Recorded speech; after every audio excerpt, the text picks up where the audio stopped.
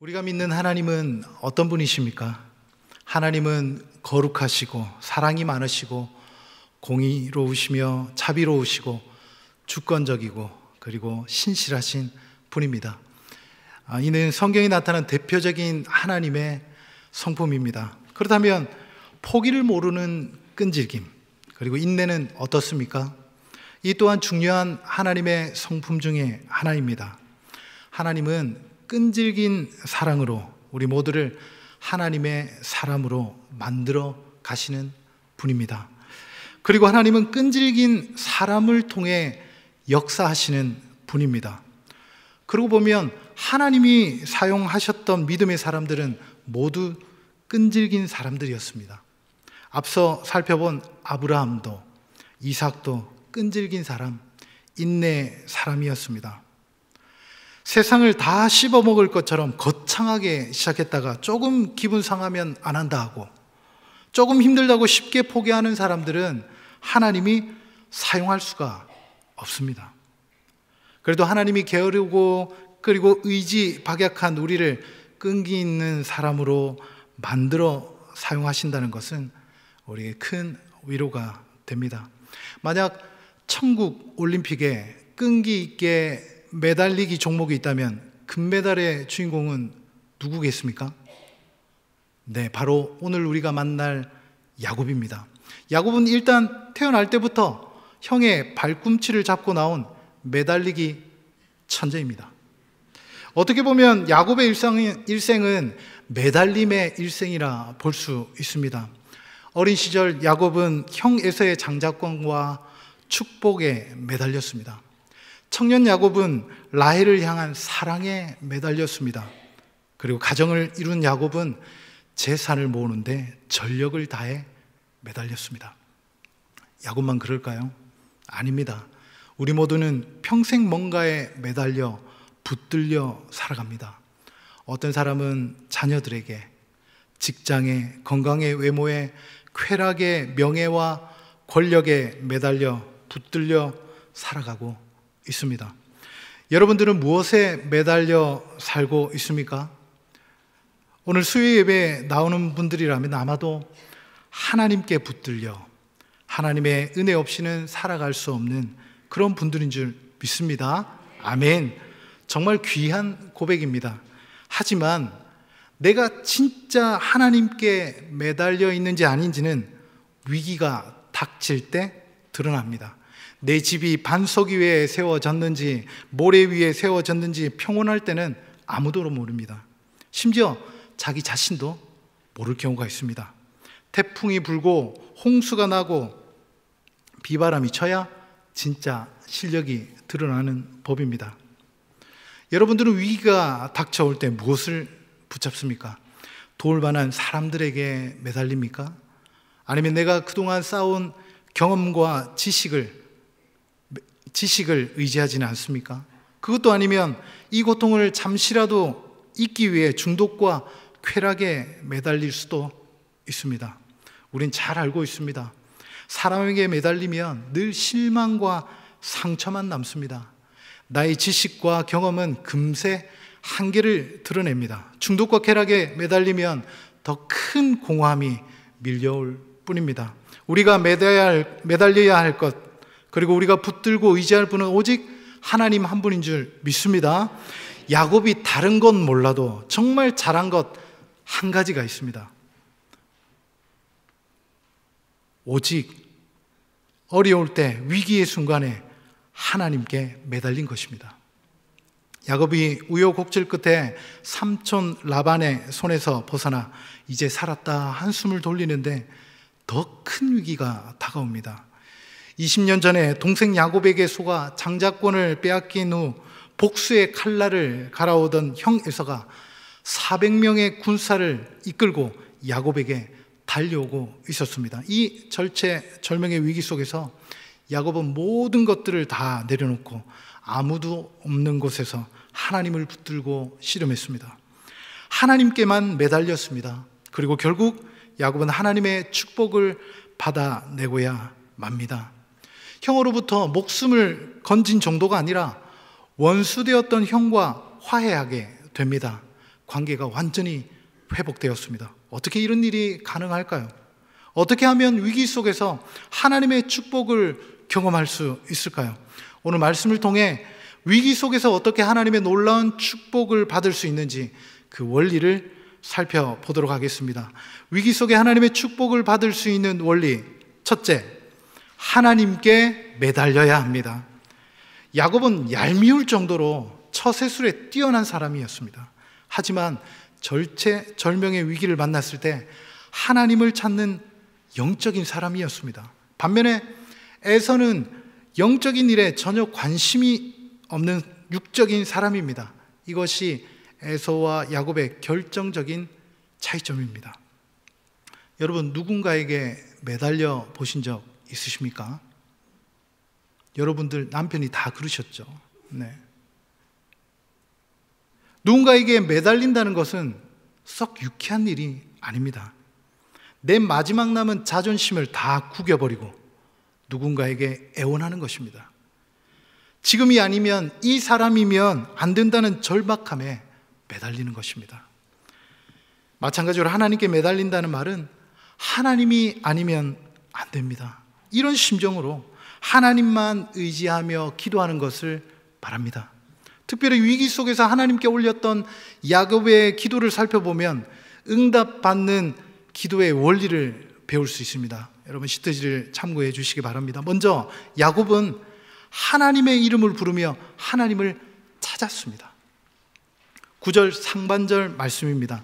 야곱이 또 가로되 나의 조부 아브라함의 하나님 나의 아버지 이삭의 하나님 야곱은 하나님의 이름을 부르며 하나님을 찾기 시작했습니다. 그리고 두 번째 야곱은 하나님의 약속을 기억했습니다. 9절 하반절 말씀입니다. 여호와여 주께서 전에 내게 명령하시기를 내 고향 내 족속에게로 돌아가라 내가 네게 은혜를 베풀리라 하셨나이다. 만약 내가 형에게 죽으면 하나님이 약속을 어기시는 겁니다. 이렇게 따지듯이 이야기하는 것입니다. 그리고 야곱은 하나님의 은혜를 기억했습니다. 10절 말씀입니다. 나는 주께서 주의 종에게 베푸신 모든 은총과 모든 진리를 조금이라도 감당할 수 없사오나 내가 내 지팡이만 가지고 이 요단을 건넜더니 지금은 두 때나 이루었나이다. 하나님께 따지는 것이 미안했던지 감당할 수 없는 은혜를 베풀어 주신 하나님께 감사를 표현합니다. 그리고 하나님의 약속을 붙잡고 본격적으로 하나님께 매달려 기도했습니다. 11절, 12절 말씀입니다. 내가 죽게 간구하오니 내 형의 손에서 에서의 손에서 나를 건지어 내시옵소서. 내가 그를 두려워하면 그가 와서 나와 처자들을 칠까 겁내미니이다. 주께서 말씀하시기를 내가 정령 네게 은혜를 베풀어 내 시로 바다에 셀 수 없는 모래와 같이 많게 하리라 하셨나이다. 여러분 가장 강력한 기도는 하나님의 약속의 말씀을 붙들고 기도하는 것입니다. 마지막으로 야곱은 기도하면서도 내가 할 수 있는 일에 최선을 다했습니다. 야곱은 하나님께 기도한 후 형 에소를 위해 선물을 준비합니다. 형 에서의 마음을 달래기 위해 준비한 예물이 염소와 양을 합쳐 550마리나 됩니다. 야곱은 하나님께 기도하면서 동시에 자신이 할 수 있는 최선을 다했습니다. 이처럼 위기 속에서 하나님의 축복을 받을 수 있는 첫 번째 원리는 하나님이 아니면 안 된다는 절박한 심정으로 하나님의 약속을 붙잡고 하나님께 매달리는 것입니다. 위기 속에서 하나님의 축복을 받는 원리 두 번째입니다. 하나님 앞에 깨어져야 합니다. 야곱은 형 에서에게 예물을 보내고 캄캄한 밤을 맞이했습니다. 그리고 사랑하는 가족도 그 많은 재산도 야복강가 너머로 보내고 이제 외로이 홀로 남아 있습니다. 그동안 매달렸던 모든 것들을 다 떠나보냈습니다. 빈손으로 남아있는 야곱에게 어떤 사람이 찾아와 씨름을 합니다. 그 사람은 야곱을 이기지 못하자 야곱의 환도뼈를 쳐서 부러뜨려 버립니다. 얼마나 고통스러웠을까요? 이제 포기할 법도 한데 야곱은 끝까지 매달립니다. 축복해 주지 않으면 놓지 않겠다는 것입니다. 야곱은 하나님의 축복의 능력을 알았고 하나님이 아니면 안 된다는 것을 알고 있었습니다. 야곱과 씨름하던 사람이 갑자기 야곱의 이름을 묻습니다. 창세기 32장 27절. 그 사람이 그에게 이르되 내 이름이 무엇이냐? 이것은 단순히 야곱의 이름을 묻는 것이 아닙니다. 이것은 야곱의 인생을 송두리째 흔드는 아주 무시무시한 질문이었습니다. 왜냐하면 야곱이 아버지 이삭의 축복 기도를 받기 직전에 이삭이 야곱에게 한 질문과 똑같은 질문입니다. 이삭이 내 아들아 네가 누구냐 이렇게 물었는데 야곱이 나는 아버지의 맏아들 에서입니다. 라고 거짓말을 했습니다. 그때부터 야곱의 험악한 인생이 시작되었습니다. 그 후로 야곱은 이상하게 자신의 이름을 밝히지 않습니다. 그 사랑하는 라헬을 만났을 때도 이름을 밝히지 않습니다.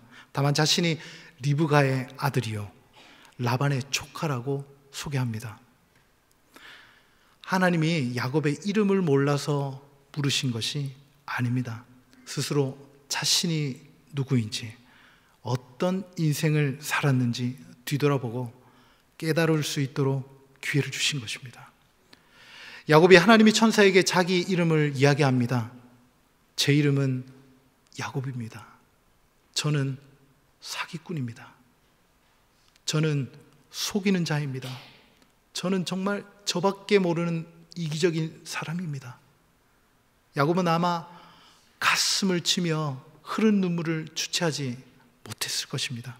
그는 완전히 깨어졌습니다. 조금 전 하나님은 야곱의 환도뼈를 쳐서 그의 몸을 박살을 내더니 이제 그의 이름을 물으시며 야곱의 마음을 깨뜨려 버리십니다. 야곱은 이제 몸도 마음도 완전히 깨어지고 부서지고 가루가 되었습니다. 이제 하나님이 새롭게 빚으실 준비가 되었습니다. 그리고 하나님의 천사가 이스라엘이라는 새 이름을 야곱에게 줍니다. 여러분 잘 아시는 것처럼 이스라엘은 하나님이 싸우신다, 하나님이 통치하신다, 하나님이 다스리신다 이런 뜻이 있습니다. 이제부터 하나님이 야곱을 다스려 이기게 하시겠다는 것입니다. 그리고 하나님의 천사가 드디어 야곱을 축복합니다. 여러분 그런데 야곱이 그토록 바랐던 축복은 무엇일까요? 창세기 33장에서 야곱이 형 에서를 만났을 때 에서가 야곱을 껴안고 웁니다. 형과 화해하는 기적이 일어났습니다. 20년 동안 고민했던 문제, 두려워했던 문제가 한순간에 풀려 나갔습니다. 야곱이 구했던 축복, 그것은 바로 원수되었던 형 에서와 화해하는 것이었습니다. 최소한 창세기 32장, 33장에서 말하는 성경이 말하는 하나님의 축복은 관계의 회복입니다. 여러분 반대로 저주는 다른 것이 아닙니다. 관계가 깨어지는 것입니다. 가장 친밀해야 할 부부 관계가 가장 친밀해야 할 부모 자식 간의 관계가 깨어지면 그만한 지옥이 없습니다. 진정한 축복은 관계의 회복입니다. 하나님은 우리를 깨뜨리시고 축복하시는 분입니다. 깨어진 마음에 성령의 능력이 임하는 것입니다. 하나님이 도와주시면 오랫동안 풀지 못한 문제가 한순간에 풀려 나갈 줄 믿습니다. 그런데 우리 중에 깨어지는 것을 좋아하는 사람 단 한 사람도 없습니다. 왜 그럴까요? 아프니까요. 하지만 성경은 깨어짐이 곧 축복이라 말씀하고 있습니다. 이 깨어짐의 축복이 완성된 곳이 어디일까요? 예수 그리스도의 십자가입니다. 모세가 호렙산에서 반석을 깨뜨렸을 때 생수가 강물처럼 흘러나와 목마른 이스라엘 백성들을 살려내었습니다. 사도 바울은 바로 그 반석이 예수님이라 증가하고 있습니다. 고린도전서 10장 4절 말씀입니다. 다 같이 한번 읽어보겠습니다. 다 같은 신령한 음료를 마셨으니 이는 저희를 따르는 신령한 반석으로부터 마셨음에 그 반석은 곧 그리스도시라. 아멘. 예수님은 십자가에서 깨어지셨습니다. 예수님이 자신의 온 몸을 깨뜨리셔서 물과 피를 쏟으셨습니다. 예수님 성부 하나님으로부터 외면당함으로 그 영혼도 깨어졌습니다. 예수님이 깨어지심으로 보혈의 생수가 흘러나와 우리 모든 죄를 깨끗하게 씻어 주셨습니다. 말씀의 생수와 성령의 생수가 흘러나와 우리를 살리셨습니다. 여러분, 진정한 축복은 무엇라고 했습니까? 관계의 회복입니다. 십자가에서 예수님의 깨어지심으로 하나님과 원수되었던 죄인이 하나님과 화목하고 영생을 얻게 되었습니다. 이것은 세상 어떤 것과 비할 수 없는 가장 큰 축복인 줄 믿습니다. 결국 신앙생활이란 무엇입니까? 예수님을 닮아 날마다 내가 깨어져서 나뿐만이 아니라 하나님의 축복이 이웃에게 흘러가게 하는 것이 신앙생활 아니겠습니까? 여러분, 우리 교회는 12월 12일부터 8주간 VIP 초청 주일로 정하고 영혼 구원에 애쓰고 있습니다. 참 다른 사람을 쉽게 쉽게 하는 건데, 하는 것 같은데, 한 분 모시고 오는 것이 너무너무 쉽지가 않습니다. 목회자로 훈련받는 저도 아주 쉽지가 않습니다. 여러분, 천지를 창조하신 우리 하나님이 지금이라도 당장 구원하기로 작정한 주의 백성들 이곳에 무릎 꿇인 거 그 힘든 일이겠습니까? 그렇지 않습니다. 그런데 왜 굳이 전도의 이 미련한 것으로 구원하는 것을 주님이 기뻐하실까요? 쉽고 또 세련된 방법 많을 텐데 왜 이렇게 힘들게 구원하실까요? 오늘 설교를 준비하면서 다시 한번 마음에 깊이 깨닫게 되었습니다. 한 영혼이 죽게 돌아오는 이 놀라운 축복은 먼저 믿은 우리가 하나님께 매달리고 하나님 앞에 끼어지지 않으면 흘러 들어올 수 없는 것입니다.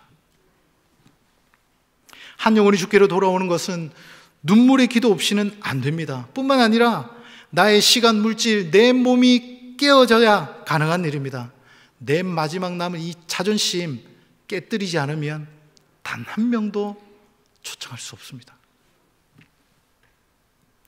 저도 평소 마음에 품고 기도해왔던 또 VIP가 있는데 아, 때마침 어제 전화가 왔습니다. 아, 그렇게 놀랄 일은 아닌데 네, 감사합니다. 전화가 와서 부탁할 일이 있는데 오늘 점심 시간이 괜찮으면 식사를 같이 하자는 거예요. 할렐루야 이게, 이게 웬 떡입니까? 원래 일면식도 없는 없었던 분인데 인터넷 카페에서 그분이 뭔가 질문을 했고 제가 성심성의껏 잘 설명을 설명한 글을 남겼습니다. 그것이 그분한테는 참 좋았나 봐요. 감동이 됐나 봐요. 그것이 인연이 돼서 개인적으로 연락이 왔고 그래서 서로 연락처를 주고받고 지금 이제 2년째 서로 연락을 주고받고 있습니다. 그리고 작년 희망행복 가을 축제 때도 그분이 오셨습니다. 참고로 그분은 전라도 출신이고 또 어, 저는 그분을 선생님이라고 부르는데 그분은 저를 사장님이라고 불러요.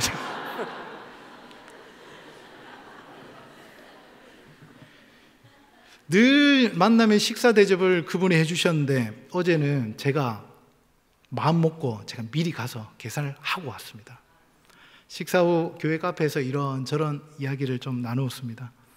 그리고 헤어지기 직전에 어, 가슴 두근두근 하면서 이야기를 꺼냈습니다.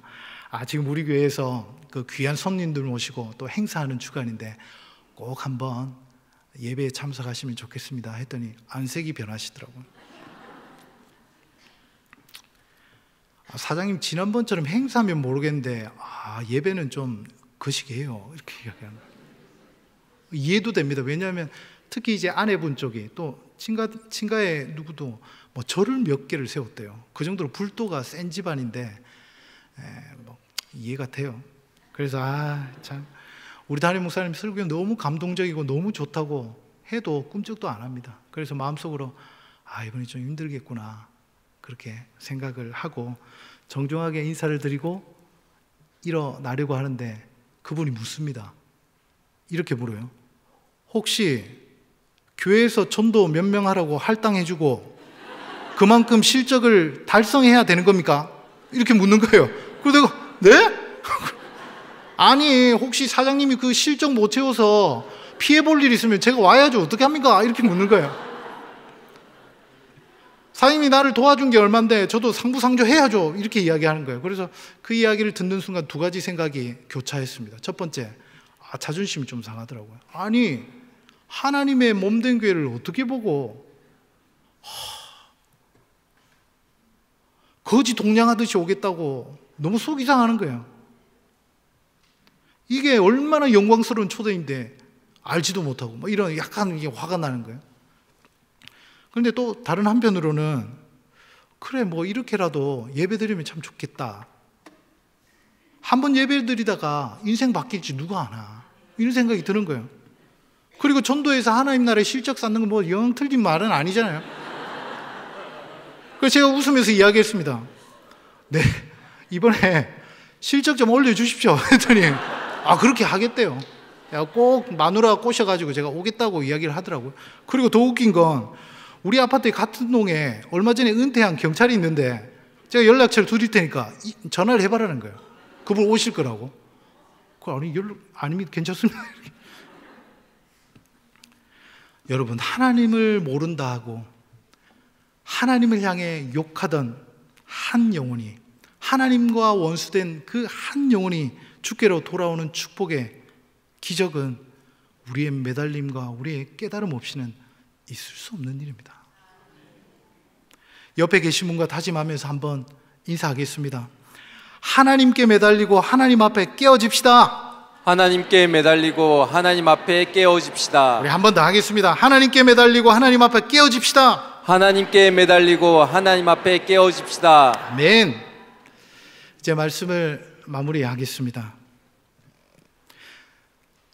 오늘 부르고 싶은 찬양이 있었는데 뭐 찬양을 부르지는 않겠습니다. 그 시편 51편 말씀에 하나님이 구하시는 제사는 뭐라고 하셨습니까? 상한 심령이라고 했습니다.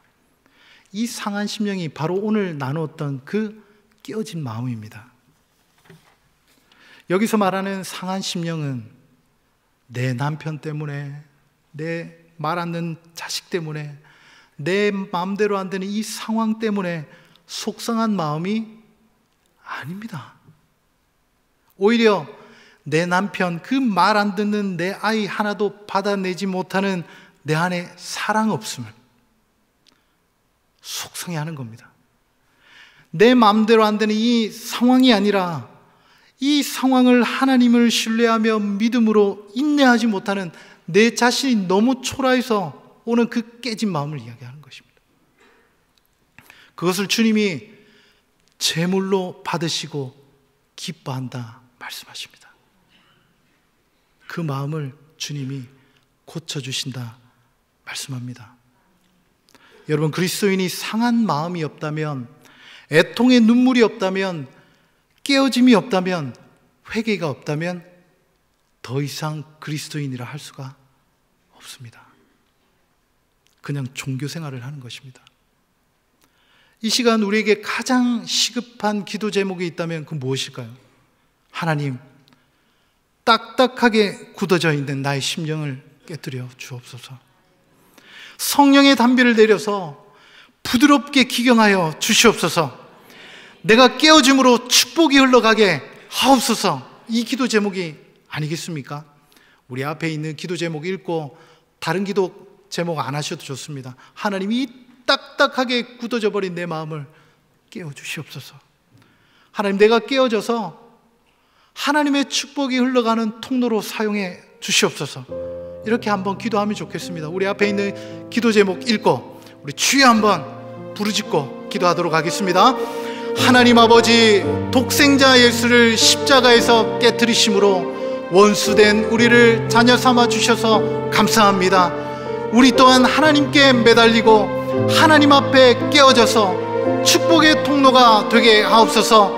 2023년 남은 한 달 동안 매달리고 깨어져서 VIP를 초청하게 하옵소서. 우리 다 함께 주여 한번 부르짖고 기도하도록 하겠습니다. 주여! 하나님 아버지 은혜를 감사합니다. 오늘 말씀을 통하여서 하나님 아버지 내가 하나님 앞에 매달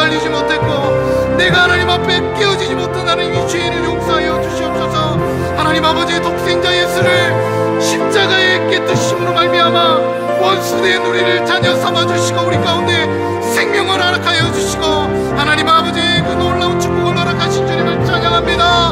우리 또한 하나님께 매달리고 하나님 앞에 깨어져서 축복의 통로로 살아가는 그리스도인이 되게 하여 주시옵소서. 하나님 내가 그리스도인이라 하면서도 하나님 앞에 매달리지도 않고 깨어지지 못하고 자존심을 내려놓지 못하고 애통하지 못하고 회개하지 못하고 눈물 흘리지 못한 하나님 아버지 비참한 인생을 하나님 용서하여 주시고 하나님이 딱딱하게 굳어진 우리의 마음을 하나님 아버지 기경하여 주시옵소서. 이 2023년 한 달 남아 있습니다. 하나님 앞에 매달리고 깨어져서 하나님 아버지 남은 기간 VIP를 초청하게 하여 주시고 하나님 앞에 아버지 또 기도하게 하여 주시고 하나님 앞에 나아가며 하나님 축복을 흘려버리는 하나님의 귀한 우리가 될 수 있도록 역사하여 주시기를 원합니다. 주님 은혜를 베풀어 주시옵소서. 주님 은혜를 베풀어 주시옵소서. 하나님 아버지 하나님이 구하는 제사는 우리의 상한 심령이라 하셨습니다. 우리가 그리스도인이라 하면서도 하나님 앞에 상한 마음이 없고 애통에 눈물이 없고 깨어지지 않으려고 하고 또 회개가 없는 하나님 아버지 이 비참한 신앙생활 종교생활을 하나님 멈추고 하나님 앞에 아버지 더 깨어지고 더 부서지고 더 가루가 되어 하나님 사용하기 편한 하나님이 새롭게 빚기 편한 하나님 신앙인이 될 수 있도록 은혜를 다하여 주시옵소서. 딱딱하게 굳어져 있는 하나님 우리의 심령을 깨뜨려 주시옵소서. 그 속에 성령의 단비를 부어 주시옵소서. 기경하여 주시옵소서. 내가 깨어져서 축복의 통로로 사용되게 주시옵소서. 그렇게 하실 주님을 기대하고 축복하며 예수님 이름으로 기도하옵나이다. 아멘.